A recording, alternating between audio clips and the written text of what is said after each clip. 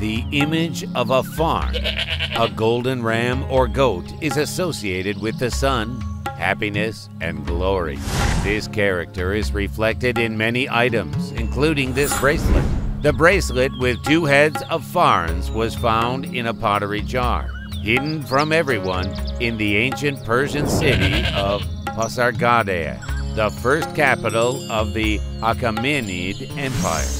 Pasargadae was inscribed on the UNESCO World Heritage List in 2004. Gold bracelet with goat heads. Achaemenid 559 to 331 BC. Diameter 7 centimeters. Found in a pottery jar. Fars province. Gold.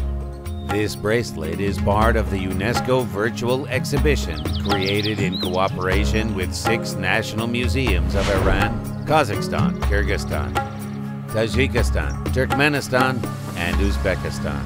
There are many ancient artifacts in the exhibition that are worth seeing.